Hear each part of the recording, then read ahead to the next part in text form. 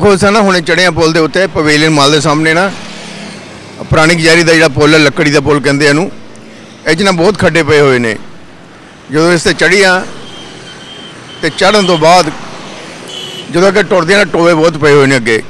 ਉਹ ਜਦ ਬੰਦਾ ਇੱਧਰ ਉੱਧਰ ਕਰਦਾ, ਐਕਟਿਵਾ ਤੇ ਕੋਈ ਜਾ ਰਿਹਾ ਹੁੰਦਾ, ਮੋਟਰਸਾਈਕਲ ਤੇ ਦੂਜਾ ਬੰਦਾ ਵਿੱਚ ਵੱਜਣ ਦੇ ਵਿੱਚ, ਜਾਣੀ ਕਿ ਵੱਜ ਹੀ ਜਾਂਦਾ ਕਈ ਵਾਰ ਤਾਂ। ਮੈਂ ਪਹਿਲੇ ਜਾ ਰਿਹਾ ਸੀ, ਮੈਂ ਫਿਰ ਦੁਬਾਰਾ ਹੁਣ ਫਿਰ ਇਸੇ ਰੋਡ ਤੇ ਜਾ ਰਿਹਾ ਹੈਗਾ ਤਾਂ ਫਿਰ ਸੋਚਿਆ ਕਿਉਂ ਨਾ ਮੈਂ ਤੁਹਾਨੂੰ ਦਿਖਾ ਦਾਂ ਕਿ ਕਿੱਦਾਂ ਐਕਸੀਡੈਂਟ ਹੁੰਦੇ ਨੇ।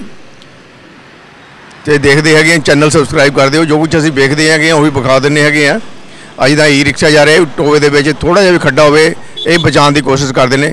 ਤੇ ਚਲੋ ਵੇਖਦੇ ਹੈਗੇ ਜਿੱਥੇ ਖੱਡੇ ਪਏ ਹੋਏ ਨੇ ਤੇ ਕਿੱਦਾਂ ਐਕਸੀਡੈਂਟ ਹੁੰਦੇ ਨੇ ਤੇ ਕਿੱਦਾਂ ਬੰਦਾ ਬਚਦਾ ਤੇ ਪਿੱਛੋਂ ਆ ਕੇ ਵੱਜਦਾ ਬੰਦਾ। ਚਲੋ ਵੇਖਦੇ ਹਾਂ ਚੱਲਦੇ ਚੱਲਦੇ